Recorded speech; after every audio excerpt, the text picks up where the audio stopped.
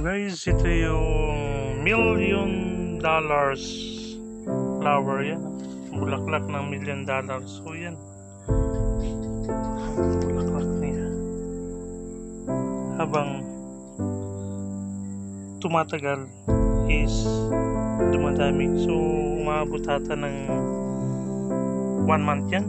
So yan ang bulaklak niya. So, subscribe! So, what's up mga idol? So, ito is ang 1 million dollars flower. So, napakaganda. So, yan na po. Nabukad na ang 1 million dollars flower. So, napakaganda talaga. Bukad na bukad na. Kasing ganda nyo. Alright. So, kung bago pa lang kayo sa aking channel, huwag kalimutan ang notification bell dyan ha para once pag nag-upload ko ng aking video is mapanood nyo agad. Alright, so yan po ang 1 million dollars flower. So yan po. Right, so yan ang ating 1 million dollars flower. So yan po. So bawal bawal natin pitasin kasi napakarami. Tingnan nyo. So napakarami talaga. Hindi natin pwedeng pitasin. So, di ba? So, atin lang titingnan. Sisilipin.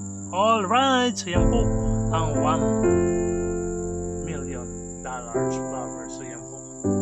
Alright. so, yan. Ito. Ito ang ating 1 million. So, paano naging 1 million? So, ito po is simula. Yun, nakita nyo yung unang video. Maliit pa na siya. So, more than 1 month na to. Itong bulaklak na to.